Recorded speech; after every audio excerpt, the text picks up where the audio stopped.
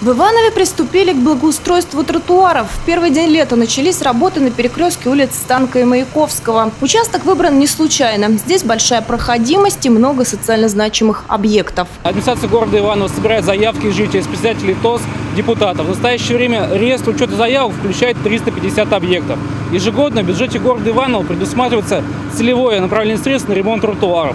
Э, в текущем году сумма составляет 17 миллионов рублей, что позволит отремонтировать порядка 60 объектов. По контракту на станка предусмотрен демонтаж изношенного покрытия, выравнивание впадин, финишный верхний слой 4 сантиметра горячего асфальта. Закончат работы на этой неделе. Сложностей никаких. Единственное то, что припаркованные машины нам э, мешают.